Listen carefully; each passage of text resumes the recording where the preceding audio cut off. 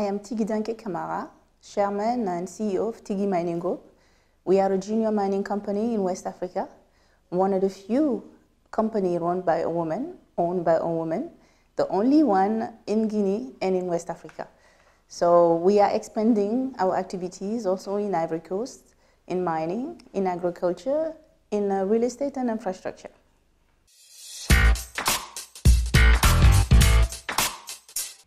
Well, you have to focus on uh, social, and uh, which is something important for our company.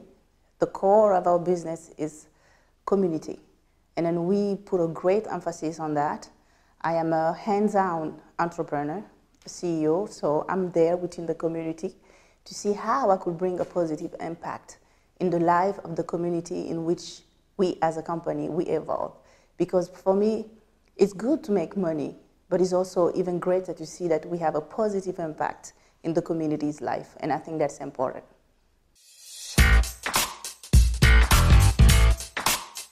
I mean, uh, most of the, the, the problematics are already known by everyone.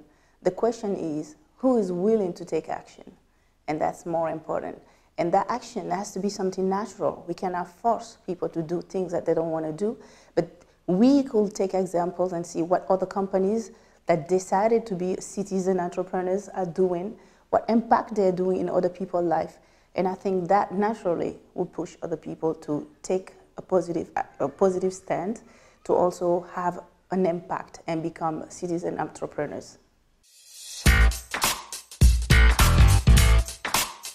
My priority first as an entrepreneur and as a citizen then, because I do social entrepreneurship, is to focus on training, on education. I believe that is very, very important. Um, the world needs more human skill. So we need to put a great emphasis on education in order to have more young people that are able to take up on the workforce because we need it as the world is growing and the youth is going to be uh, the majority, like it's going to be in, let's say in 2030 or 50, the, the world population will have more young people than we have now. So it is important that we put a great emphasis on the training in the skills that will create a better workforce. And to pushing Generation Y and women.